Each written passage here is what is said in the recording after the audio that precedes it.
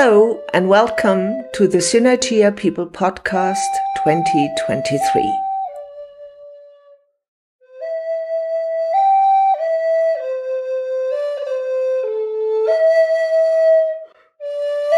My name is Alejandro Jose Amunda. My father's from Buenos Aires.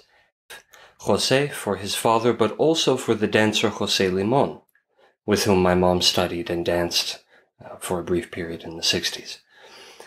And Amunda is my name. And it means something like of the world rather than from a particular place in the world. I take great pleasure in being around and dipping into everything. Sometimes it's a challenge that I don't actually know a lot about many things. I know a lot, a little about a lot of things. And I run up more and more lately on the limits of that. My life has danced very much with as many facets of the arts as, as I can touch. And I've only become more and more convinced that anything can be art. Anything at all. And really everything can. And it's just a certain amount of quality of attention, perhaps intention, and an eye towards beauty and a heart also towards beauty. So, what brought you here to Synergia Ranch, where you have been the last five years? Little over, yeah. Quite unintended. I was looking for a place like this, but uh, I'll, the short story, perhaps, is that I was working on a short film in North Carolina that I'd co-written. Was talking to my mom. She said she maybe I wanted to visit Santa Fe for the holidays. She had a feeling I was born here, and we left when I was four and a half. I did want to visit. I was hoping it would spark memories. I didn't really have money or a plan. I just knew generally what I didn't want to be doing with my life. And so I was loosely running away from that loosely towards whatever else there might be. And so we came here and I didn't discover any new memories as I would have hoped. However, our second to last day, we met with an artist who dated one of my mom's dance students in the 70s at Hampshire College. So when I met this artist, I was very interested by work he was doing for the Santa Fe Institute's Interplanetary Festival. I took a return plane ticket to England. I was looking for a place like this ranch community with its ethos that I couldn't quite find. I ended up moving to Santa Fe without money or plan except to work with this artist on this project. Because I, we were corresponding via email and I, I realized I had to experience it to actually Yeah. write for it. And our medical advisor for the project was friends with folks here. Because they had flashing lights that could have caused epilepsy. And he recommended I could get a room here. And I actually denied it once because I didn't have a car. And the artist and I knew 20 minutes outside of town, it'd be really hard to be taxied in to work on this project. But I ended up really needing a place to stay. So I came here for a week, which became a month became three, became six, and to my good fortune, John and I got on very well, and everyone else for good measure. How would you describe the ranch? How would you describe what you found here to make you stay? The first night, I I knelt down next to my bed, and I'd set up some sort of loosish, alterish thing. Maybe I don't recall for sure, and I just do recall saying I can do real magic here. I had just an immediate sense that things were happening, people were interesting. One is there's a fundamental sense of play. I find I can make a strange face, I can propose an odd idea, and people respond and, and meet it. And I've I've discovered as I've gone on in life that actually feeling safe to play is what I look for in a place. I have I've I've noticed now all these little ways that I test new friends or new environments to see how odd can I feel comfortable to be. Just because to me being alive is the thinnest line away from surreal at any moment and often Yeah. funny too. And it seems to be I have this thing of poking just because I can at the veils. So there's the play here, there's the actual ongoing sense in evolution. I remember passing Freddie at a party and hearing him and seeing his smiling face saying no one actually knows the potential of the human brain. And the idea of being in a place where that idea is very exciting. And Allowed to have. yes, and there's an interest in pursuing them. And people have worked for decades with their bodies, with their brains, with their capacities to work with other people. And that's really the last part. The word synergy is very strongly in my vocabulary now, amongst many other words I've mm. found here.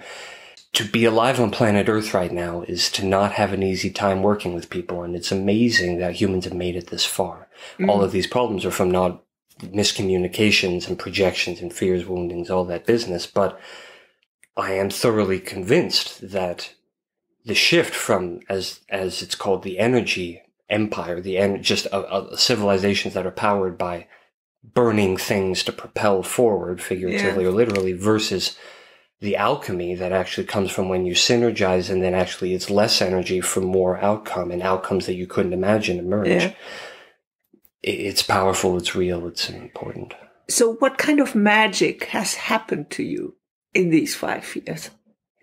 Something I can't describe, but I can feel and other people observe is a certain kind of grounding. It's a very different relationship to being in space, to approaching projects, to making things happen.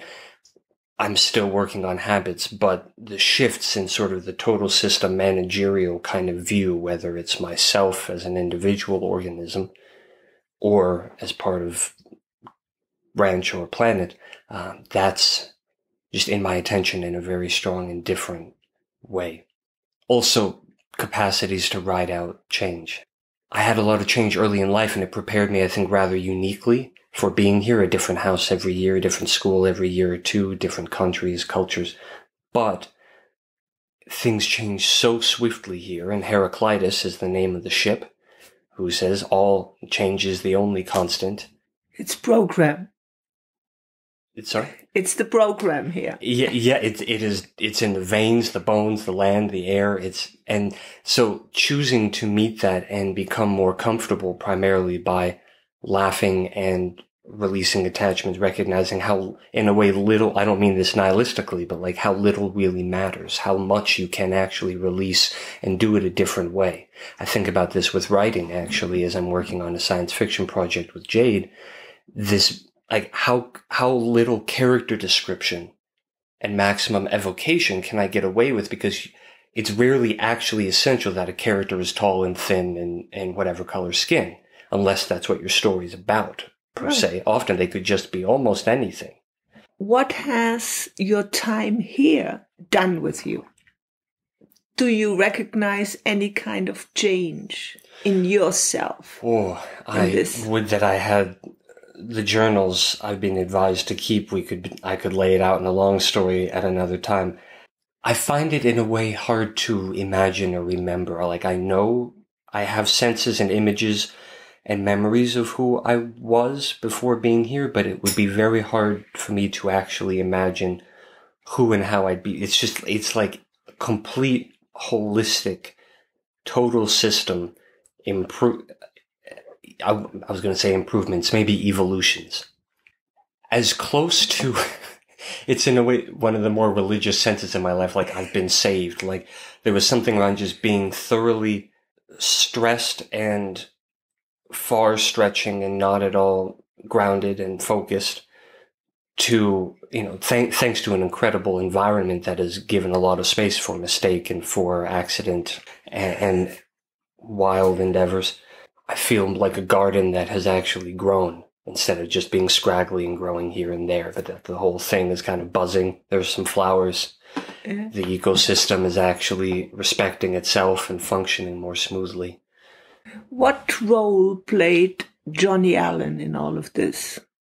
Maybe we need to say that Johnny Allen is, how can we say, one of the founders here, the big leader from what I hear from all the others.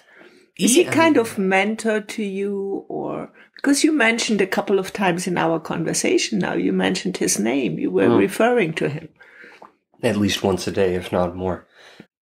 Certainly one of the human beings I love most and who has been an incredibly generous um, friend, teacher, fellow human being, fellow explorer, dancer, poet. Um, I mean, we, we met over a chessboard and he destroyed me. but he, and he but it was the night before I moved here and he was already very welcoming with bright eyes. And it turns out that he's best friends with the person from whom the artist that I connected with was renting studio space for good measure.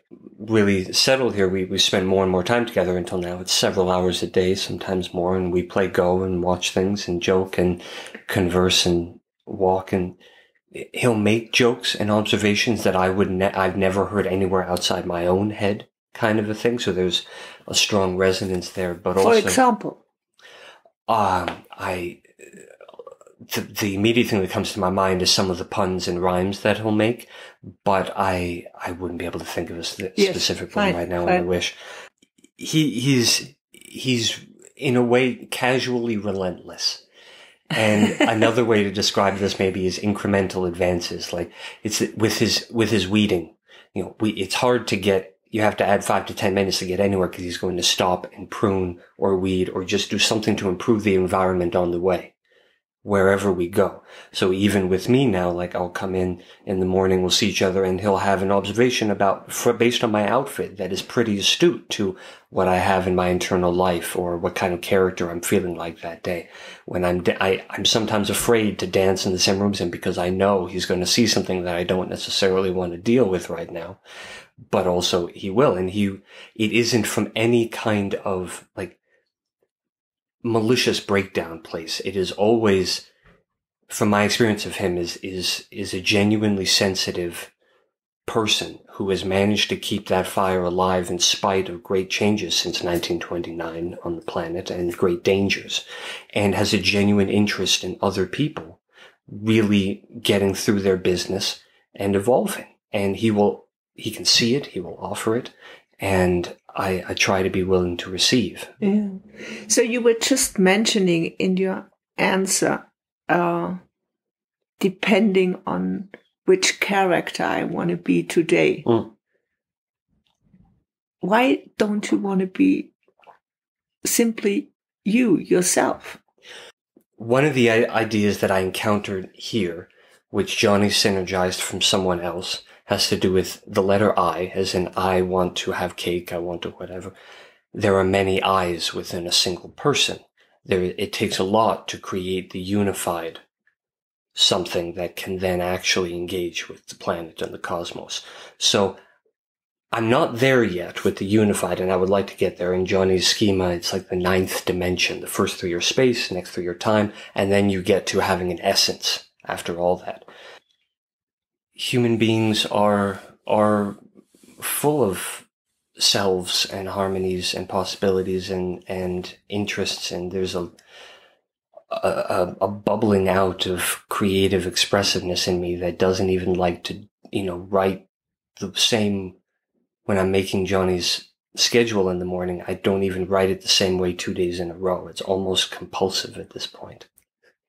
So it's not like I'm there in my room saying, I want to look like such a thing today, but a person, whatever reasons, a person wakes up and they find themselves assembling a certain atmosphere of being with their outfit, or at least I do. But it's not any kind of intentional thing, but he'll notice you're more intellectual today, you're more wanting to be a cowboy today, and so on. and so on. Okay. I feel like I do have a strong and growing stronger sense of that of that me rather than just a, a diversity of characters, but that me seems to be someone who likes to be many people. to talk in all sorts of ways. And I mean, part of why I got into acting to begin with was the actual idea of just I felt I could understand other people better if I tried to be them. Yeah. And empathy is a learned skill, as I've learned, but again, can't work with other people. How would you define your place, your space here? I will use a phrase borrowed from our ranch manager to describe herself in the past, which was a free radical. And it's sort of that person who's around in the background, a bit like a stage manager is another analogy given to me recently of how I run my life, where observing what needs to happen and dipping in like a hummingbird to help in the different spots. I do have a specific point of management, which is called synesthesia, which is the food for the dinners, the food for certain people eating out of the community kitchen, the cooking schedule and general ambiance and social cohesion. But mm-hmm. otherwise, I've lived in many different rooms and contributed to many different facets of what's happening here. But it has sort of settled into I'm mainly synesthesia, delivering produce, and working with John, and then generally around. So is this your place here? Yeah. Are you going to stay longer? Yes. Yeah, I mean, it took me a little while to sort of feel safe and in a, that it was a home, just in the sense of like having been moving around a lot, being in a place with a lot of change and not a lot of resources myself. It was just, I couldn't, I couldn't relax in a certain way. And also it's so bright. I don't know how people made it for hundreds or more years without sunglasses here. I now have prescription tinted glasses because I just, I can't handle it, but it's gorgeous. So yes. And oddly, the first four times I left the state after I moved here, I was ill three of them, like strongly until I got back. Yeah. So it's it's a it's a powerful place to be and to meet a diversity of interesting explorers of human beings and and then also adventure into the world while it's still there. You were mentioning in earlier conversations that you ha- do have some health issues. Mm. Does this overall, uh, how shall I say, the overall atmosphere here, which seems to be quite pleasing to you, Mm. does this help you in your?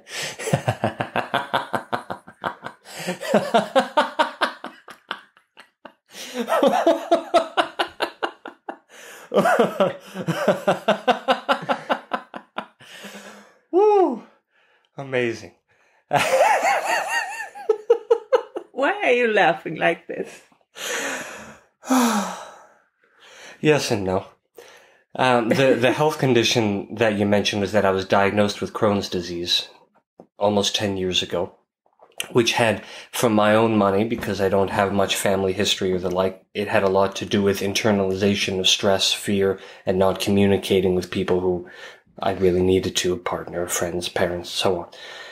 And so I had to do with how I was working with that stress and all that. So since being here, especially with Johnny, who observes the main danger in life, if you actually see any truth, is dying of laughter. But he survived it twice, so he's pretty good. But as I point out, it could still happen if he see, you know, could always see something new.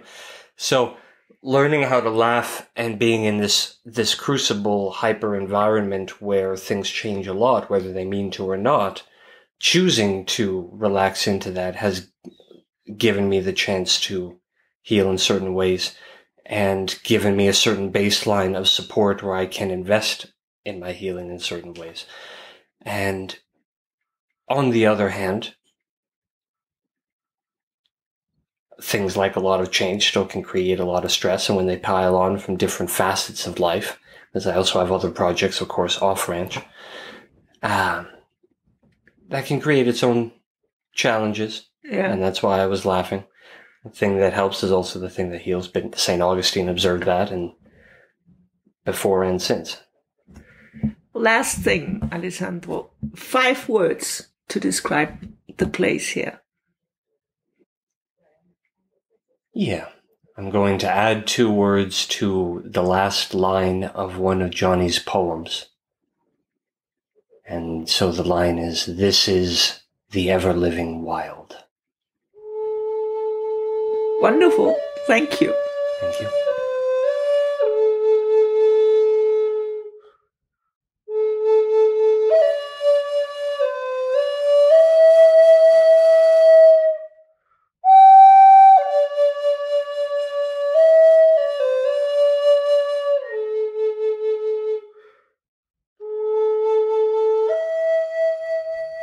Thank you for listening, and please stay tuned for the next episode of the Synergia People Podcast 2023.